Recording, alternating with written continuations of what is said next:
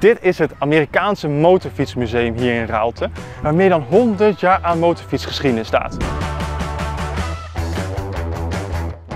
De mooiste motoren vind ik eigenlijk deze oorlogsmotoren. In totaal zijn er in die tijd 100.000 van gemaakt. Een groot deel voor het Amerikaanse leger en een klein deel voor het eh, Canadese leger. Deze zijn gebruikt in de Tweede Wereldoorlog om uh, onder andere Nederland uh, te bevrijden. En een paar van deze exemplaren staan hier in Raalte. Bij Harleys denk ik altijd gelijk aan die hele hoge Amerikaanse motoren. Maar ja, ze blijken dus ook van die sportmotoren te gemaakt hebben. Die horen natuurlijk ook hier in de collectie. Ja, het liefst ga ik op uh, alle motoren hier zitten. Uh, dat mag natuurlijk niet.